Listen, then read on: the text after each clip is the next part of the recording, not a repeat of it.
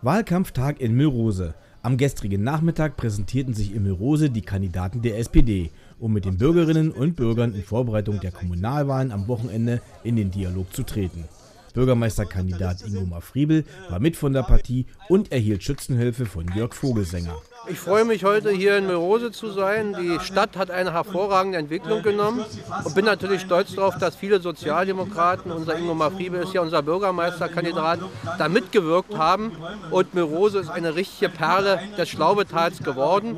Und das hat 1990 natürlich angefangen mit vielen Beschlüssen der Stadtverordnetenversammlung zur Stadtsanierung, aber auch der Kampf bezüglich der Ortsumgehung. Und das hat Melrose lebenswerter gemacht, liebenswerter gemacht und sorgt natürlich, dass viele Touristen hier gerne nach Mirose kommen. Da wollen wir weiter dran arbeiten. Nur in Zusammenarbeit zwischen Stadt, Kreis, Land und Bund können wir weitere Projekte bewegen. Und die SPD hat eine starke Mannschaft.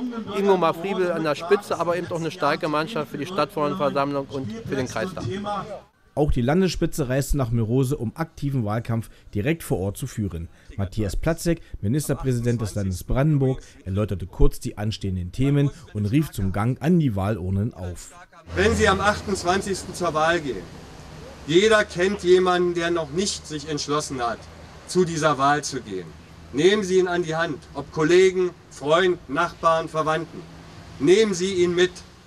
Zusammen mit den ca. 60 Teilnehmern der Veranstaltung führte er interessante Gespräche in einer herzlichen Atmosphäre und äußerte seine Wünsche für die Kommunalwahlen 2008. Erstens wünsche ich mir vor allen Dingen eine hohe Wahlbeteiligung. Zweitens wünsche ich mir, dass die, die wählen gehen, demokratische Parteien wählen, weil das für unser Land gut ist, für jede Region, für jede Stadt gut ist.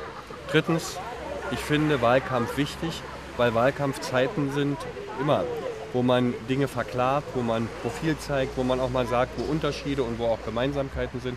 Und ich freue mich, da ich gerne mit Menschen umgehe, dass nie so wie im Wahlkampf man so viel mit Menschen zusammenkommt. Ich habe jetzt ungefähr 100 Veranstaltungen hinter mir und kann ringsherum nur sagen, ich lerne dabei, es macht Spaß und deshalb liebe ich Wahlkampf. Okay, gut.